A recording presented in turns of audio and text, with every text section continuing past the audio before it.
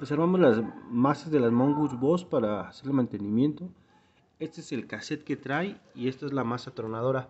Aquí tiene unas muescas que son las que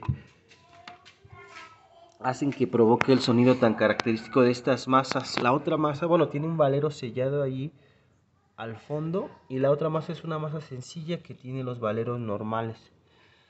Estos son los, los bloqueos que tiene y estos valeros de balín son los que tiene la masa delantera 1. Ahorita solamente le vamos a poner grasa y lo volveremos a armar. Este es el, el eje delantero.